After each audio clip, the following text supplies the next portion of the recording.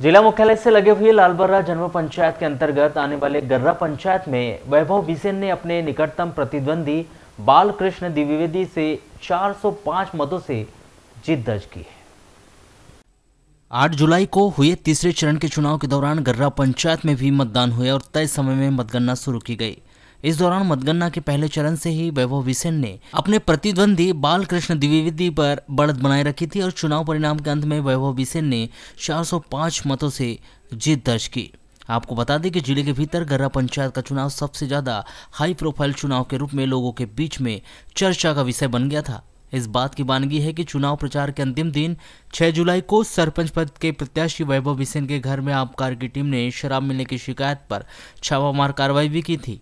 लेकिन उन्हें इस कार्रवाई के दौरान शराब या फिर अन्य नशीला पदार्थ नहीं मिल पाया था।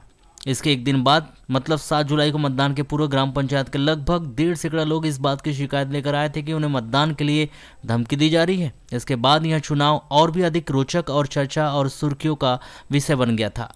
इस कारण 8 जुलाई को जैसे ही तीन बजे मतदान समाप्त हुआ तो लालबर्रा बालाघाट के साथ ही ज़िले के अन्य स्थानों के लोगों की नज़रें गर्रा चुनाव परिणाम पर लग गई और हर कोई एक दूसरे से मोबाइल फ़ोन के माध्यम से इस बात की जानकारी लेने में लग गए कि आखिरकार गर्रा में हो क्या रहा है? किसके पक्ष में चुनाव परिणाम जा रहा है?